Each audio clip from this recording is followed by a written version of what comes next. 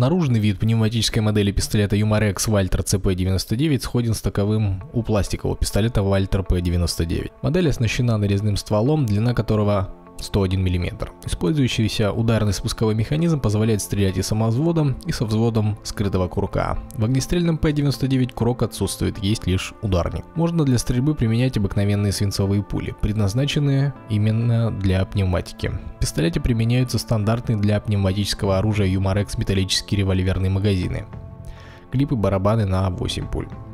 Заряжание производится путем сдвигания вниз рычага затворной задержки, расположенной на левой стороне пистолета над спусковой скобой.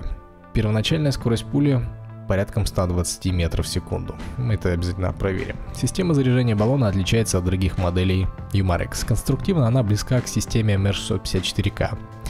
Нажатие на двухсторонний рычаг он находится сзади спусковой скобы и ведет к выпаданию из рукояти пистолета магазина, объединяющего в себе баллон, дозатор ударного действия. Высокопрофильные приспособления для прицеливания способствуют точности наведения. Штатная мушка неподвижная и широкая целик, регулируемый по горизонту.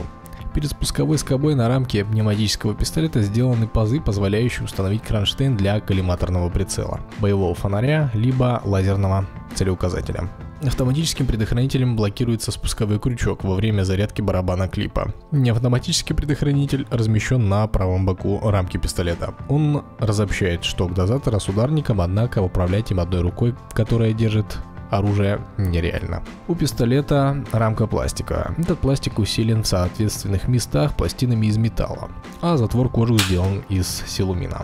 У рукоятки задняя сторона сделана из твердой резины, либо дерево, и она сменная. Это позволяет индивидуально подогнать рукоять под размер руки. В целом изделие крайне любопытное, дороговизна чувствуется, лежит в руке как настоящий. Ощущается определенная тяжесть и технологичность немецкого оружия. Если вы ищете изделие, а стреляющее свинцовыми пулями, б похоже на боевой и довольно компактное, Думаю, Вальтекс P99 будет отличнейшим вариантом. Более того, наличие у него планки вьюра делает его более вариативным, более интересным, более долгоживущим. То есть он вам не скоро надоест за счет этого. Настало время, наверное, померить скорость. Будем стрелять пулями 0.49.